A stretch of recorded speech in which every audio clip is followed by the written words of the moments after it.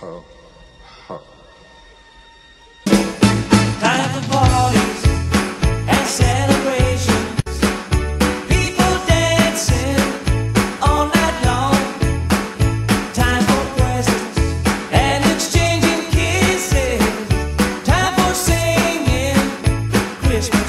How's your Media One and welcome to my video response match the Trepacer's competition. Uh, he's giving away two prizes, he's giving away a $25 gift card to Amazon, which is a really awesome prize. Thank you for doing this competition. You know, I love watching your videos. Trey Pass is such a really nice guy. He's been on YouTube for such a long time now and hopefully you'll be sticking around even longer after, you know, these competitions and after, you know, all these kind of changes happening with YouTube recently, unfortunately, making things a bit more difficult.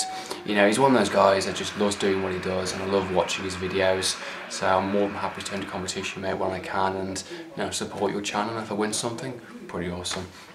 So you've asked three questions uh, based upon a kind of like Christmas tale in a sense of Scrooge type thing, in a sense of what do you regret in the past, in the now and in the future, which the future is a bit more harder because you don't know what you're going to regret in a sense, but I'll do my best on this window.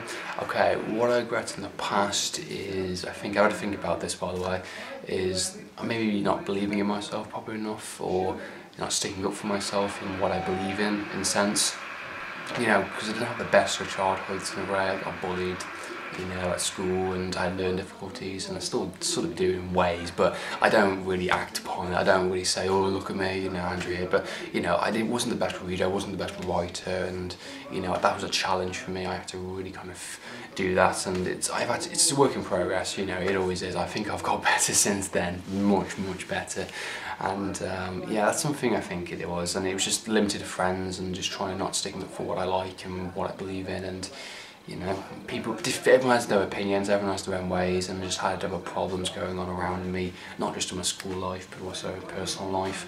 So um, I think it's just the fact of you know, not sticking up for myself. And I, I made up for that now, definitely. I'm 20 years old now and I'm definitely sticking up for myself. I'm definitely sharing my opinions, doing a creative course, you know, and doing a job and expressing my opinions on YouTube, of course, doing film reviews, something like that. So I think it's a case of that, really. That's something I always regret, is just not doing it. But in the sense of that, I've made up for it now, in a way. So, you know, that's one thing I do regret. You know, certain people back in school, just not sticking up for myself, not you know taking action, not like violence or anything, but just in of just sticking my ground. That's what I regret in the past, definitely.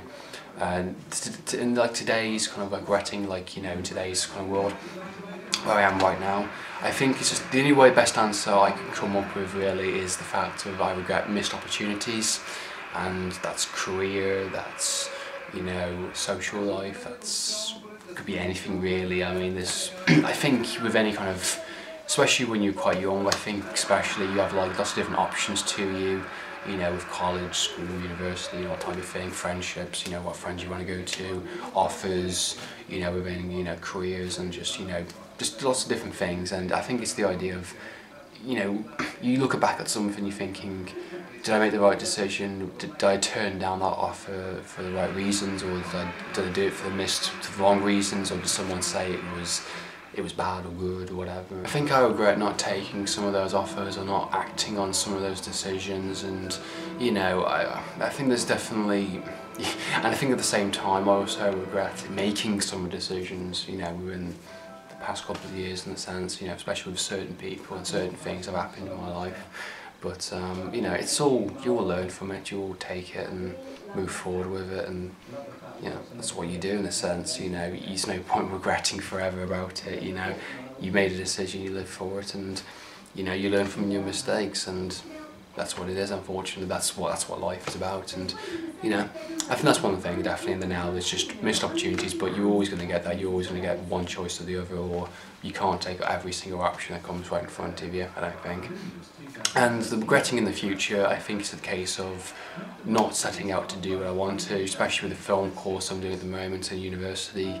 It's a case of, you know, it's a very competitive market. It's a very, you know, imaginative course in a sense, you know, and I'm on my second year, or one more year to go yet, and it's a case of, you know, what's life going to be after education, you know, am I going to stick with the job I've got, or am I going to try and go for something, you know, it's risks and the the day, and I think it's the case of, I want to be proud of something what I do, and say, yeah, I do that, you know, I'm happy with it. It's not about the money, it's about, you know, saying, you know, I've done that with my life, you know, it's simple as that, and um, that's something I regret.